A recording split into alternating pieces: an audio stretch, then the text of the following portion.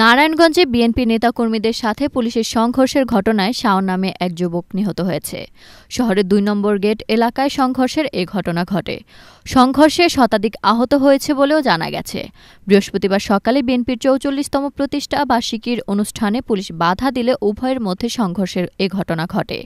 সংঘর্ষে আহত শাওনকে উদ্ধার করে নারায়ণগঞ্জ জেনারেল হাসপাতাল নিয়ে গেলে কর্তব্যরত চিকিৎসক তাকে মৃত ঘোষণা করেন। নিহত শাওন ফতুল্লার এনায়েতনগর ইউনিয়নের তিন নং ওয়ার্ডের মৃত সাহেব আলীর ছেলে। সে যুবদলের রাজনীতির সাথে জড়িত ছিল বলে দাবি করেছেন বিএনপির নেতাকর্মীরা।